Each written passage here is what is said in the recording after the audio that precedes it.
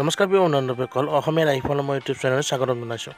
য'ত আমি Assamese astrology বিষয়ক বিভিন্ন ভিডিঅ' আলোচনা কৰোঁ।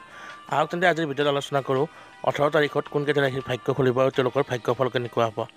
লগতে অনুৰোধ জনাওঁ যে আমাৰ ভিডিঅ'বিলাক যদি ভাল পায় লাইক কমেণ্ট শ্বেয়াৰ কৰাৰ লগতে সদায় এনেধৰণৰ ভিডিঅ' হ'বলৈ আমাৰ চেনেলটো ছাবস্ক্ৰাইব কৰি দিব। আহক এতিয়া মূল কথালৈ আগবাঢ়োঁ। এই ৰাশিকেইটাৰ বিভিন্ন ধৰণৰ শুভফল আহিবৰ সময় হৈছে। এওঁলোকে প্ৰতিযোগিতামূলক পৰীক্ষাত সফলতাৰে উত্তীৰ্ণ হ'ব পাৰিব। লগতে এওঁলোকৰ জীৱনত আশা কৰা ধৰণে মনৰ ইচ্ছা পূৰণ হোৱা দেখা হ'ব।